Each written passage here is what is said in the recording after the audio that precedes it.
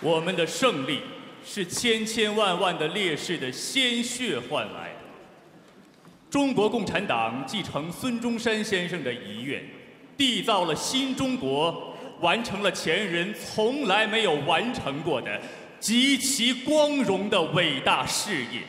孙中山先生的在天之灵，可以欣慰地看到。多少革命志士叱咤风云，干洒碧血，只为实现心中的目标；多少英雄豪杰气贯长虹，百折不回，为了一个更加光辉的未来；多少济世英才高擎辛亥革命大旗，薪火相传，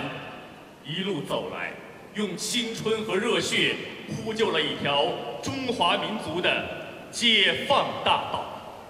回顾百年历史，我们自豪地说：“